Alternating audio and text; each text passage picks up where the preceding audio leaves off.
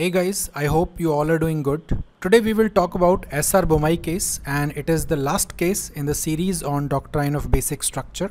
SR Bomai case mainly article 356 के misuse से जुड़ा हुआ है. I assume that you have good knowledge about article 356. In case you do not have any knowledge or you have little knowledge about article 356, I would suggest that you pause this video go and study about article 356 thoroughly and then continue with the video it will make much more sense to you at that point. Article 356 government of india act 1935 section 93 का copied version है। India की independence से पहले अंग्रेज़ इस article को critically misuse करते थे to destabilise Indian provincial governments specially after 1935 जब आर्टिकल 356 को इंडियन कॉन्स्टिट्यूशन में शामिल किया गया था तो कुछ सीनियर मेंबर्स ने आपत्ति जताई थी। They even warned that this article can be misused especially in a multi-party system country like India. At this point, please remember that India is a federal country और फेडरल कंट्री में power share होती है central government and state government के बीच और क्योंकि हमारे यहाँ पार्टी सिस्टम है तो इस बात की पॉसिबिलिटी बढ़ जाती है कि सेंटर में रूलिंग पार्टी कोई और हो सकती है और स्टेट गवर्नमेंट किसी और पार्टी के अंडर जा सकती है पॉलिटिकल पार्टीज़ के बीच में सिर्फ़ पॉलिटिकल कंपटीशन ही नहीं है, उनके बीच में पॉलिटिकल आइडियोलॉजीज के डिफरेंसेस भी होते हैं and they do not see eye to eye with each other and that is why this article 356 has been a bone of contention for almost last five decades. Constituent assembly के senior members ने यहाँ तक warn किया था कि India का federal structure article 356 की वजह से खतरे में आ सकता है डॉक्टर बी आर अंबेडकर ने कॉन्स्टिट्यूंट असेंबली को अश्योरेंस दिया। ये आर्टिकल यूज़ होने की नौबत ही नहीं आएगी। It would be more like a dead letter only in extreme situation specially when India's integrity as a union of states is compromise उस केस में इस आर्टिकल का यूज़ होगा। As on first July 2021 this article has been used approximately 132 times since 1950 in fact 1975 to 1990 के बीच में, ये जो 15 साल का पीरियड है, इस 15 ईयर्स के पीरियड में इस आर्टिकल को 40 टाइम्स यूज़ किया गया था। क्यों यूज़ किया गया? उसका लॉजिक बहुत सिंपल है, क्योंकि सेंटर में एक दूसरी पार्टी थी और स्टेट्स में दूसरी पार्टीज़ थी। पार्टीज़ में आइडियोलॉजिकल क्लैश था और सेंटर के पास आर्टिकल 356 एक वेपन की तरह था, जिसे वो स्टेट्स को पनिश करने के लिए यूज़ कर सकते थे। अब सवाल उठता है कि आर्टिकल 356 में होता क्या है? मैं आपको सरल भाषा में बताता हूँ। I hope that you have already read about it in detail but simple words में।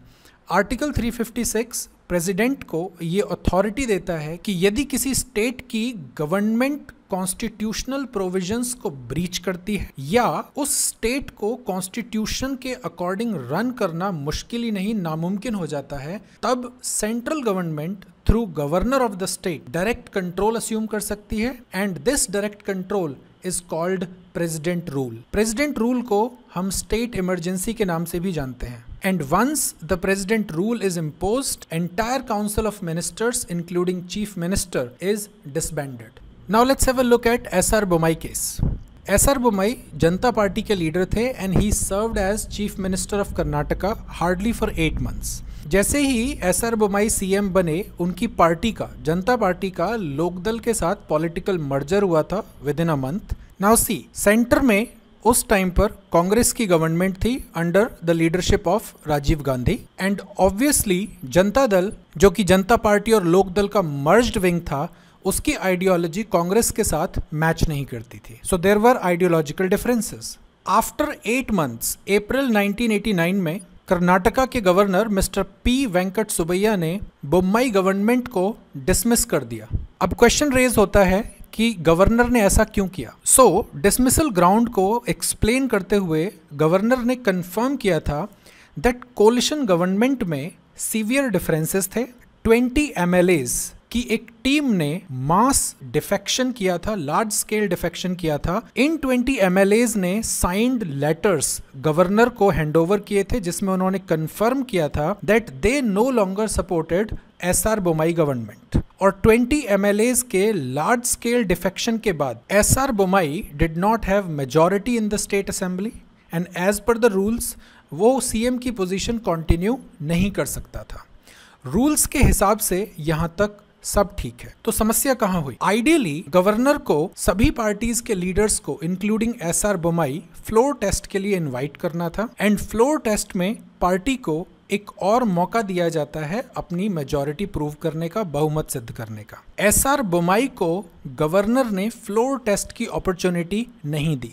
यहाँ तक कि जनता दल ने अपना एक प्रॉपर रेजोल्यूशन पास किया था endorsing Bommai's candidature yet governor ने इस रेजोल्यूशन को डिसरिगार्ड कर दिया। Karnataka was placed under president rule for next 193 days many political experts believe कि अगर एस आर बोमाई को फ्लोर टेस्ट करने की इजाज़त दी गई होती then it was quite likely that SR Bomai would have been reinstated to the position of CM. तो इस इंसिडेंट से एक चीज़ साफ़ नज़र आ रही है कि गवर्नर ने large scale defection of M को एज एन एक्सक्यूज यूज़ किया था to impose the president rule in the state he did not explore all the possible options to keep the federal structure intact. And of course, governor did not do it on his own. He probably received instructions from the center. So you can say कि center को एक छोटा सा मौका मिला state की government को destabilize करने का और control capture करने का and the center did it. Now see the irony that once the president rule was over, जो नई सरकार कर्नाटका में बनी वो कांग्रेस पार्टी की सरकार बनी and this party stayed in power till 1994 and 1994 is the year जब एस आर बोमाई केस का वर्डिक्ट सुप्रीम कोर्ट ने डिलीवर किया था। Now let's try to understand what happened after the dismissal of the government S R Bommai ने पहले high court को approach किया but Karnataka high court ने बोमाई की रिट पिटिशन को डिसमिस कर दिया। फाइनली सुप्रीम कोर्ट ने पिटिशन को कंसिडर किया but it took five years to deliver the judgment but the judgment delivered by supreme court was rock solid supreme court ने अपने judgment में clearly कहा that the power of the president to dismiss a state government in federal structure is not absolute. जब मर्ज़ी आई, तब state government को उठाकर बाहर निकाल दिया। This is not how federal structure works article 356 को ऑपोजिशन को क्रश करने के लिए एक टूल की तरह इस्तेमाल नहीं किया जा सकता है। सेंट्रल गवर्नमेंट बिना वैलिड ग्राउंड्स के स्टेट गवर्नमेंट्स को डिसमिस नहीं कर सकती है।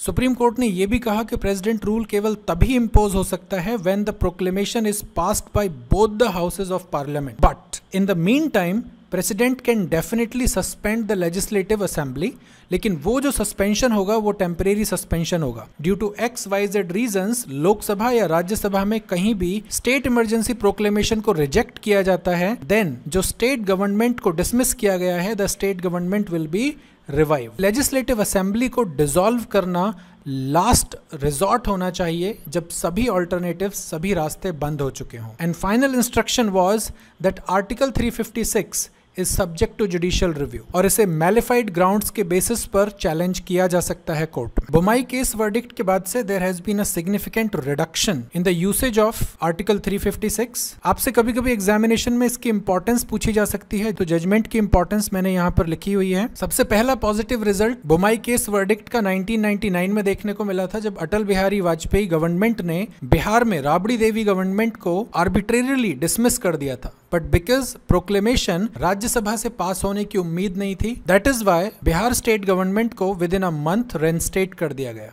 सो फाइनली सुप्रीम कोर्ट ने इस वर्डिक्ट के साथ एक स्ट्रॉन्ग लाइन ड्रॉ कर दी that federal structure cannot be tampered with in the name of article 356 with this the series on doctrine of basic structure is concluded I would encourage you all to tell me the topics of Indian polity that you find most challenging or confusing through your comments and I will record a lecture on all such topics as soon as possible. Study well. Thank you so much.